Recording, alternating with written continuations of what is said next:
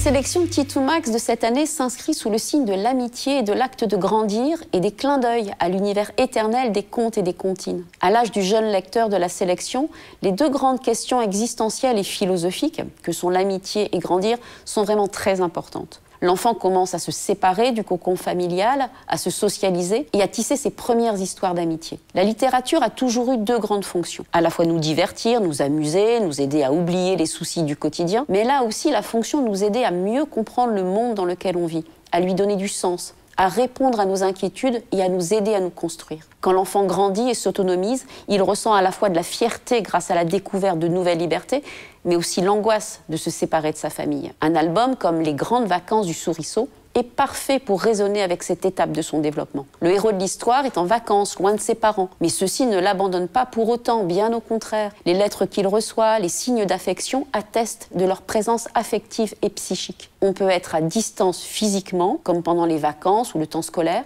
mais toujours présent psychiquement, le lien et l'amour ne s'arrêtent pas, bien au contraire. C'est vraiment ce type de beau message dit de façon poétique qui peut rassurer l'enfant et l'aider à grandir sereinement. L'amitié est aussi une des grandes préoccupations de cette tranche d'âge. À l'heure des premières socialisations, l'enfant découvre cette extraordinaire relation humaine qui nous soutient tellement dans l'existence. Que ce soit dans Jules et Tao, Bobo Super ou Va chercher, le jeune lecteur trouvera dans ces histoires la confirmation que l'amitié est sûrement une des relations les plus précieuses dans la vie. Les amis nous soutiennent dans les petites et grandes épreuves du quotidien, Bobo Super, nous amuse et nous rend solidaires, va chercher. L'amitié authentique se moque aussi des différences entre un chat et un chien dans Jules et Tao. Et l'amitié est justement ce qui va nous aider aussi dans le processus d'émancipation de la fusion familiale et nous ouvre à nous-mêmes et au monde. Une autre grande spécificité de cette sélection Titou Max, ce sont les clins d'œil que la littérature de jeunesse contemporaine fait aux grands récits éternels que sont les contes et les comptines. Comme dans Pas plus haut que trois pommes et la référence aux trois ours, Louis-tu, comme toujours dans l'univers de Geoffroy de Pénard,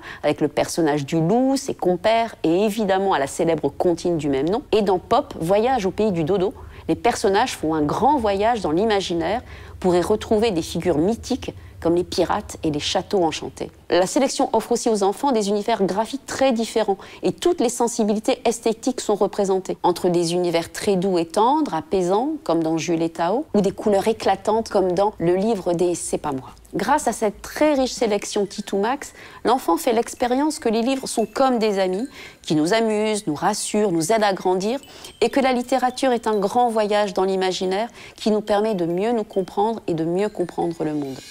Música